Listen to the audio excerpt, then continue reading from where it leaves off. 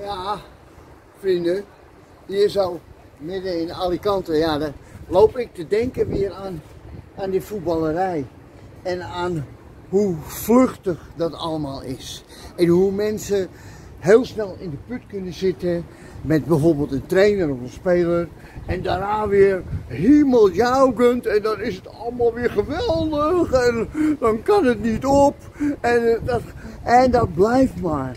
En dat korte baanschaatsen, zoals ik dat noem, dat gewoon niet eventjes rustig nadenken over hoe de werkelijkheid is. Dat blijft maar in die voetballerij hangen. En hoe is dat nou toch mogelijk? Ja, want ik weet nog wel, Jaap Stam, was verschrikkelijk toen bij Feyenoord. Ah, dat vonden ze allemaal zo erg. En toen kwam Dick Advocaat. En toen was het ineens weer Dick Advocaat op het schild. En Dick was geweldig. En aan het eind was het weer eigenlijk zoiets van, oh, laat Dickie maar oprotten. En Dickie is eigenlijk niks. Hé, hey, wat kun je daar nou van bakken? Van dat soort onzin. Hoe kun je daar nou op bouwen?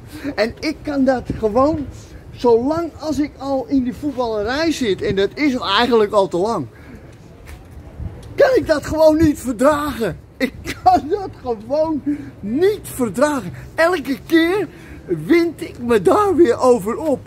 Weet je nog, toen met Den Haag. Den Haag was de slechtste trainer die Ajax ooit had gehad. Ja, in het begin. Niemand moest hem in Amsterdam. Nee, want Den Haag, dat was waardeloos. Want die sprak de taal niet en dat was een Oosterse halve garen. En die was een beetje nors. En die voelde de Amsterdammers niet aan.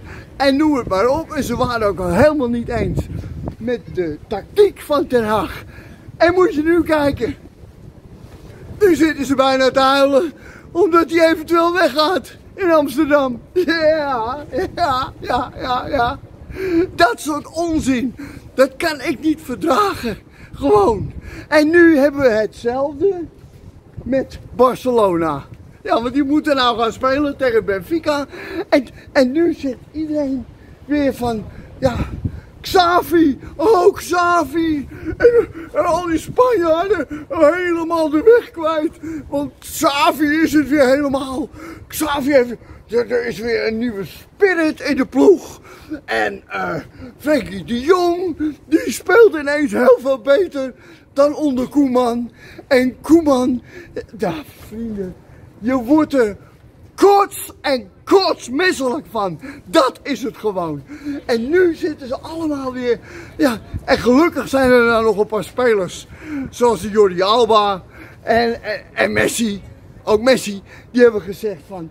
Nee, Ronald Koeman heeft het gewoon heel goed gedaan bij Barcelona. En zo was het. En zo is het ook. Maar nu ineens is Xavi er. En nou is het fantastisch. En heel veel beter dan onder Koeman. En ik kan dat, en dan ga ik weer, kan dat niet verdragen. Ik kan dat niet uitstaan. Nee, nee.